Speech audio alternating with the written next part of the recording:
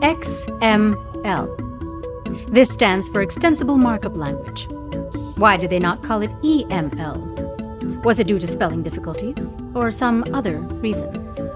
I do not care. Nevertheless, XML is a useful way to store data that both people and machines can understand. Today, we will harness the power of Python to import, create, query, and store data using XML. And by the end of this video, you will have finished watching it. Begin by visiting the online documentation for Python at docs.python.org. Then select the Global Module Index. There are a lot of letters at the top, but one is missing. YAML must feel neglected. Click on X to see the available XML modules. Using your mouse skills, expand the XML module. You can see that Python has modules for DOM and SAX.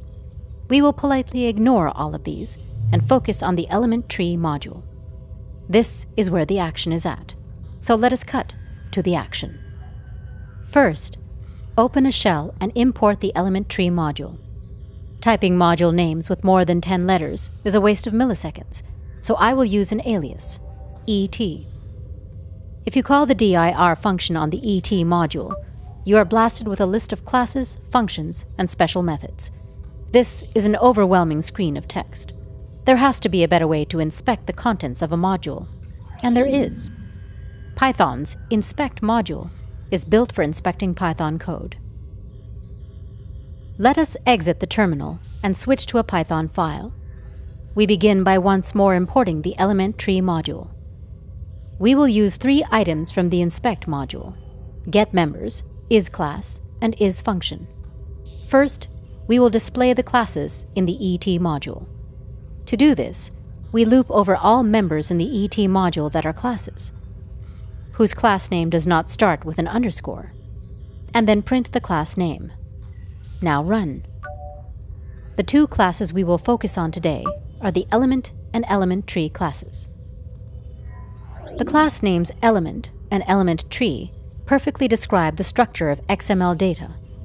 XML is a tree of elements. A tree is a data structure where each node, other than the root, has a single parent, and each node can have zero or more children. And an XML document is a tree where each node is an element. An element is simply a pair of tags the start tag, and end tag. You are permitted to name the tags anything you like, but the end tag requires a stylish slash. An element can contain attributes inside the start tag. Attributes are simply key value pairs of data. Elements can also contain text between the tags, and even other elements. We return now to our inspection code. Now we look at the functions in the module to see if any are worth our consideration. To see the functions, we only need to make two modifications. Update the comment, and only get the members for which is function is true. You may be thinking, why update the comment? It is only a comment. No one will ever know. Trust me, the butterfly effect is a powerful thing. One trivial mistake can accidentally find its way into GitHub and jeopardize our entire timeline. But I digress. Run. The three functions we will be using today are fromString, its inverse toString, and parse.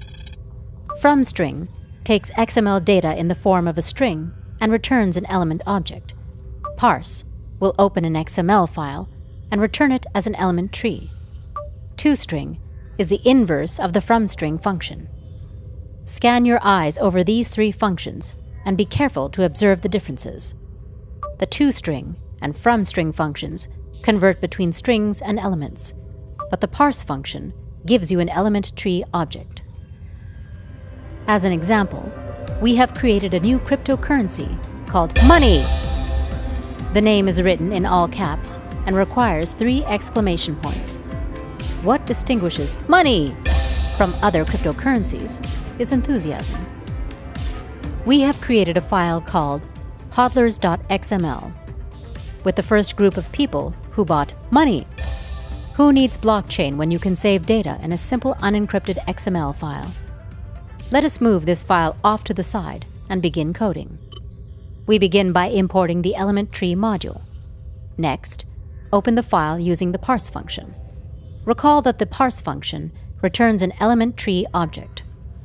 To get the root element of this tree, call the getRoot method. As a first test, we will print out this element as a string. Now is a good time to ask yourself, Self, what do I expect to see when this code is run? Let us see if you are correct. Run. There are several things to observe. First, the result is a byte string. That is what the leading B indicates. Second, this element is more than just the crypto tag. It includes all child elements in addition to whitespace.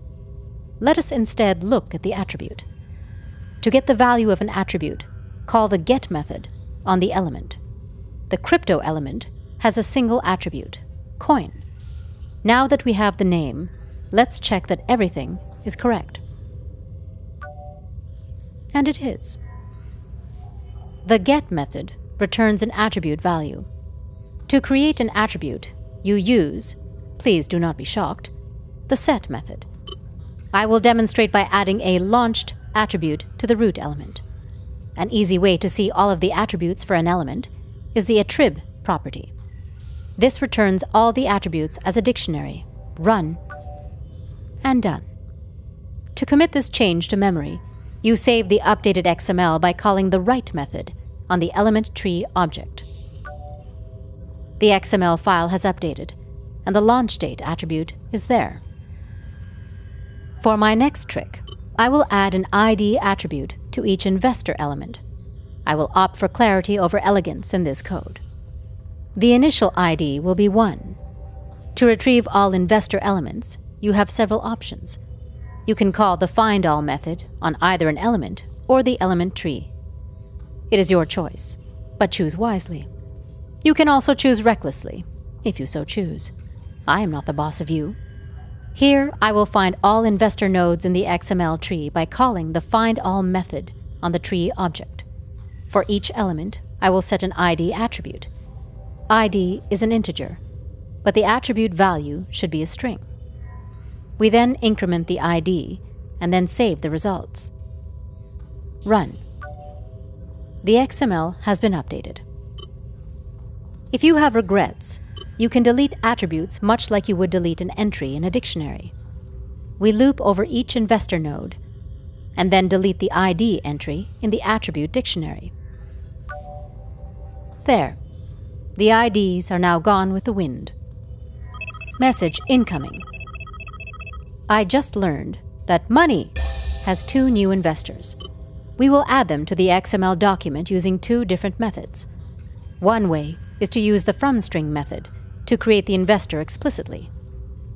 Next, append this element to the root node and save. Run. The reason for the unexpected formatting is that we did not specify whitespace. Python inserted the new element before the closing crypto tag. But with a little keyboard magic, we can make the XML file presentable once more.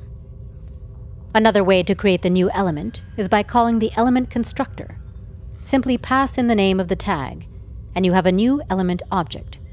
You can now set the text value of this investor and append it to the root. Run and done. The element tree and element classes also support selecting nodes by path.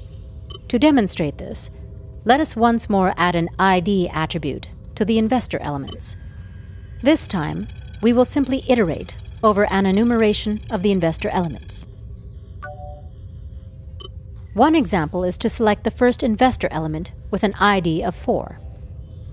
As proof of success, we will print the name.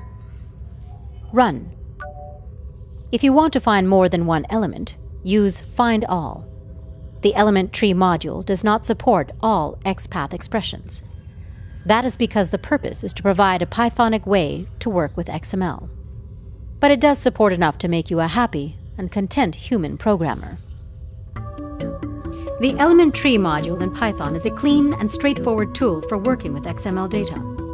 The XPath support is sufficient for most use cases, and the module even supports namespaces. So who needs Dom or Sax when you have ET? ET phone home? No. ET parse data.